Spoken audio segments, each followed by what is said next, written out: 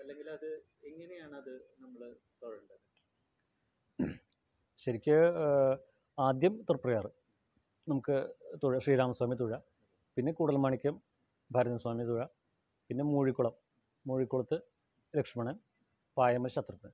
ഇങ്ങനെയാണ് സമ്പ്രദായം.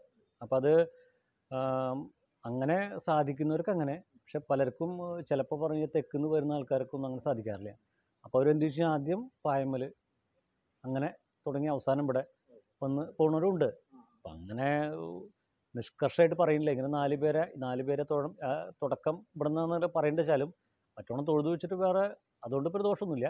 പക്ഷേ ഇങ്ങനെയാണ് ശരിക്കും സമ്പ്രദായം. സമ്പ്രദായം സാധാരണ എനിക്ക് ഇങ്ങനെയാണ് പോകേണ്ടത് അപ്പോൾ ഇപ്പം എല്ലാ എല്ലാവരും അങ്ങനെ തന്നെയാണ് പോണത്. പിന്നെ ഇവിടെ ഇവിടെ എന്താ വെച്ച് കഴിഞ്ഞാൽ മറ്റുള്ള ക്ഷേത്രങ്ങൾ എന്നൊക്കെ പറഞ്ഞു കഴിഞ്ഞാൽ പൂജാക്രമത്തിൽ മാറ്റമുണ്ട്. അവിടെ ഒരു മൂന്ന് പൂജയൊക്കെ അവിടെ ഉണ്ടാവുള്ളൂ. ഇവിടെ ഇത്രയും പൂജ അഞ്ച് പൂജയും മൂന്ന് ശിവേലിയും ഒക്കെ ഉള്ളത് കൊണ്ടാണ് ഇവിടെ ഇത്രയും ആൾക്കാർക്ക് അത്ര പെട്ടെന്ന് ഇവിടുന്ന് അങ്ങോട്ട് തൊഴുത് പോകാനുള്ളൊരു വിഷമം. കാരണം ചിട്ടകളൊക്കെ ഒരു മാറ്റവും വരുത്താൻ പറ്റില്ല. അപ്പം നമ്മൾ ഇത്രയും കാലം കൊണ്ട് നടക്കുന്ന ഒരു ചിട്ട ഇപ്പോൾ നാലമ്പല ദർശനത്തിൽ ഇത്രയും ഭക്തർ വരുന്നു എന്ന് പറഞ്ഞതുകൊണ്ട് പൂജയിൽ മാറ്റം വരുത്താനോ സമയത്തിന് മാറ്റം വരുത്താനോ ഒന്നും ഇവിടെ പറ്റില്ല. കാരണം അങ്ങനെ വരുത്താൻ പാടില്ല.